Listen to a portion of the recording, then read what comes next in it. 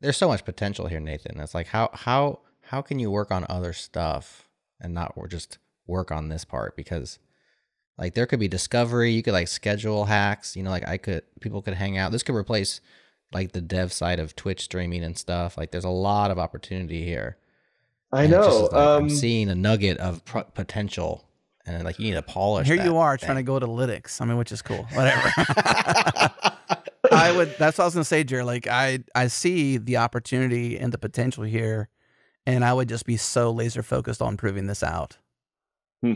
rather than that's trying really to skip to another platform. Not, but then at the same time, that platform, Linux, may bring the kind of collaborators and users you need to do this further. But I would. This is the secret of all the secret sauces in your sauce. Thank you. Yeah, I mean, the challenge is just like for people to want to collaborate in Zed, they've got to want to be use using it. Zed.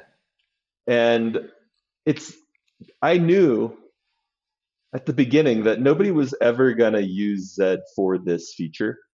They were going to use Zed because it was a good code editor, the best code editor that they could get for their use case.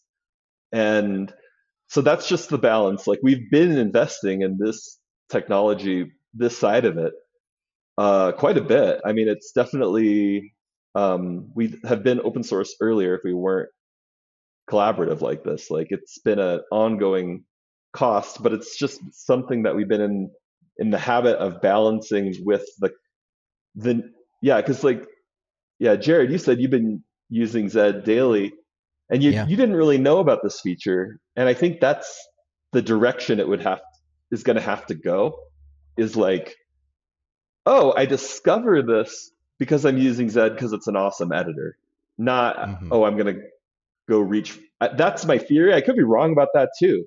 I think you may um, be wrong. Okay. Personally, okay. Uh, I think it's the feature. It's a well, it may not be there yet. I think it has the potential to be there to be the attractor. Yeah. So I think it is both, not and or meaning that I don't think people come to Zed because it's amazing and then discover you can do this. I think it's wow, I can do this, and it's an amazing editor I should already be using.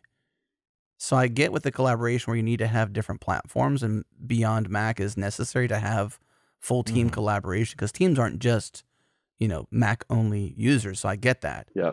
And so I understand why that's even the draw to Linux.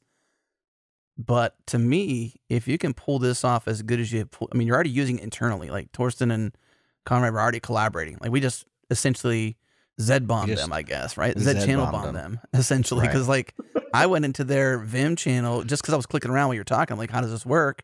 And I started hearing somebody just like doing their day in my left ear. Like they weren't even collaborating yet. They were probably going to work and going to work together, and that's where they go to work at.